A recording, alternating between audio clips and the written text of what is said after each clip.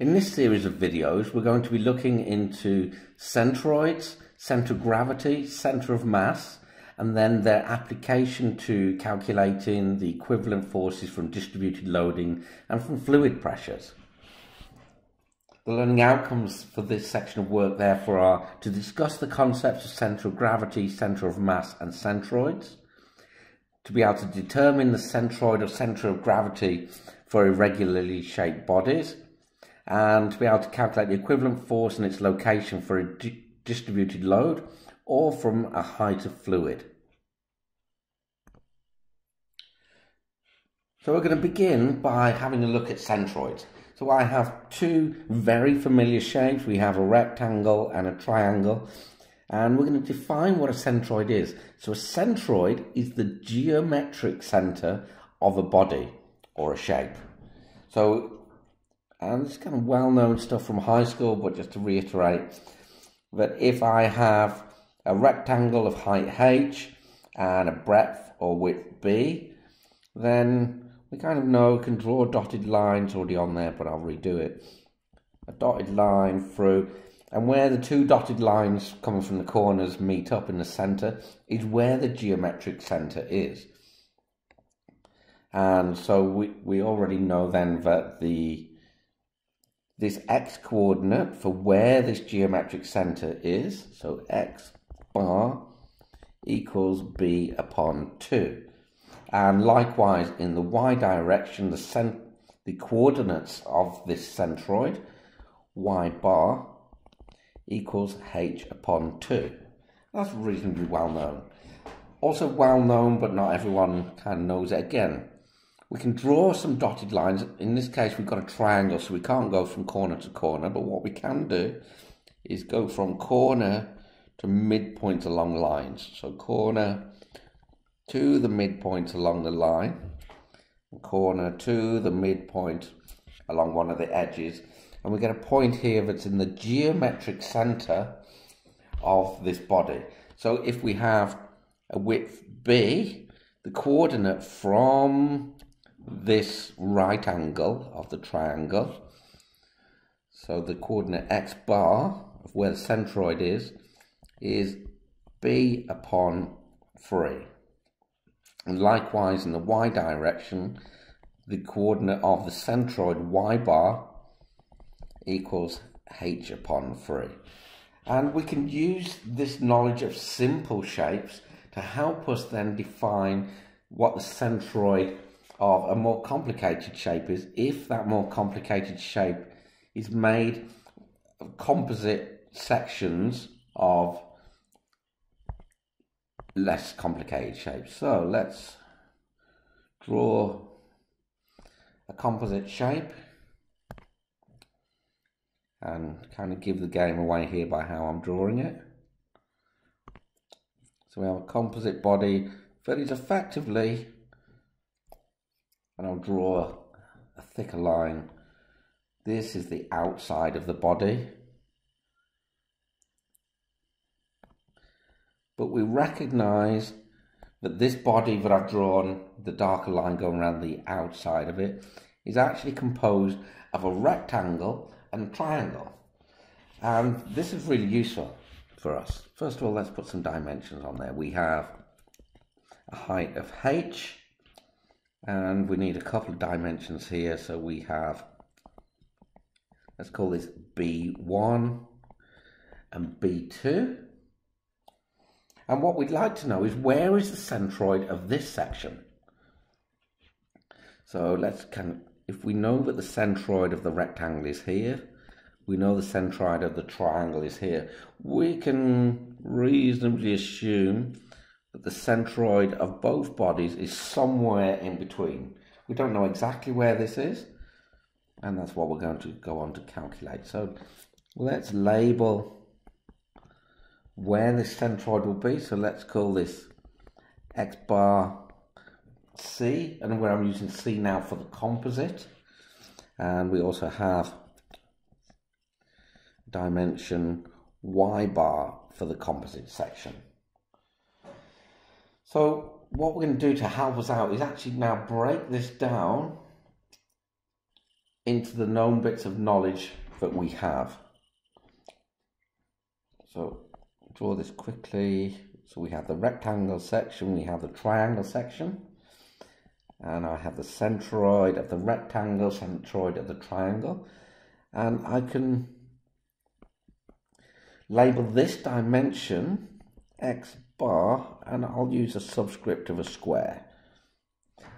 And I have this dimension, which is y bar the x coordinate to the centroid of the rectangular body.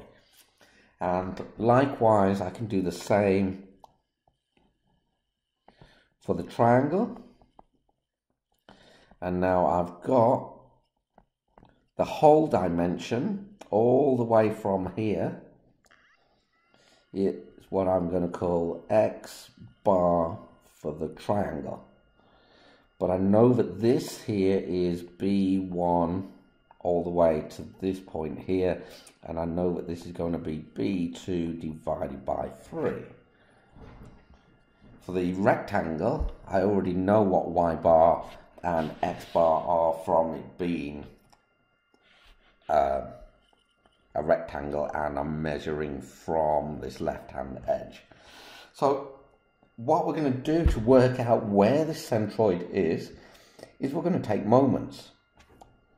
And so we're going to, if I had, for instance, all of the weight or all of the area, so let's call it area, of the composite was acting in this direction, I would have a lever arm of x bar of the composite. And that must be equal to the lever arms of the area of the rectangular section multiplied by the lever arm to that which was x bar rectangle.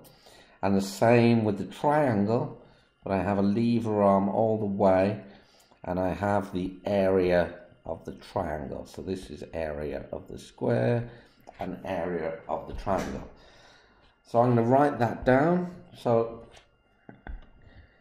I'm going to write that the area of the composite multiplied by the lever arm in the x direction, which is x bar c for composite, is equal to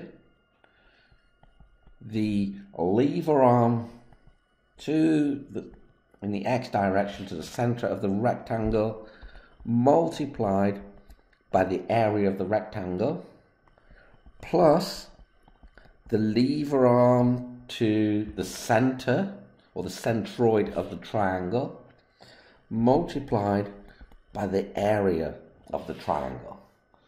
And I can then go on further to rearrange this equation just in terms of the centroid of the composite body, which is this distance here that we're wishing to find out, x bar c. So rearranging the above formula, we get x bar c equals x bar rectangle multiplied by the area of the rectangle plus the x bar of the triangle multiplied by the area of the triangle all divided by and now instead of the area of the composite I'm going to break this down into the area of the square plus the area of the triangle.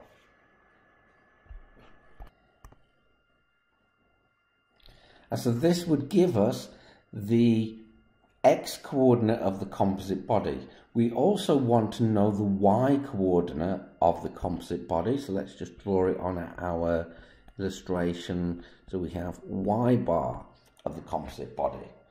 So now instead of taking moments from the x axis, what we're going to do is take moments in the y with the y directions, the y distances from there.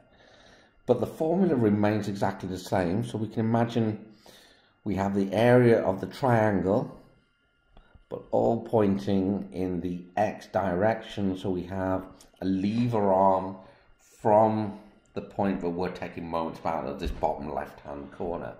And we get a, an identical, or not identical, but very similar formula for the x the y bar of the composite equals the y bar of the rectangle multiplied by the area of the rectangle plus the y bar of the triangle multiplied by the area of the triangle and then all divided by the area of the rectangle plus the area of the triangle. So you have two formulas there and you can imagine we could extend this formula if we have lots of different bodies and we'll go on to do that later. So in the next video we're going to go through this exact example but we're going to do it with numbers in there.